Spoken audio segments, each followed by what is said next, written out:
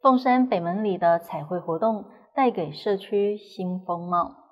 高雄市团康训练协会、台湾世界青年志工协会、高雄师范大学美术系与凤山市快乐北门社区发展协会于三月二五、二六联合举办的彩绘活动，给老旧社区新的风貌。这个今天。呃，跟昨天是我们高雄市团康训练协会，还有我们台台湾世界青年志工协会，在我们凤山北门里，呃，在我们谢里长的协助之下来做社区彩绘。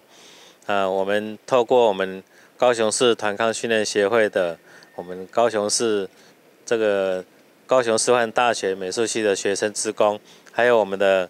啊，里长所招起的社区职工，还有我们网站一起来的这些好伙伴，来为我们凤山北门里的呃这个社区彩绘来努力，让我们的社区更美、更漂亮。也谢谢我们这个里长，他给我们这个机会，让我们呃这些青年职工有一个发挥练习的地方。也谢谢我们所有参与的这个社区职工啊。谢谢我们邓拔，还有我们这个协助我们的各个单位，谢谢大家。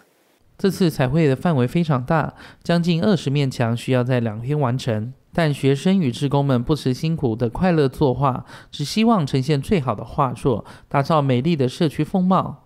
十方新闻黄慧茹、邓正璞高雄采访报道。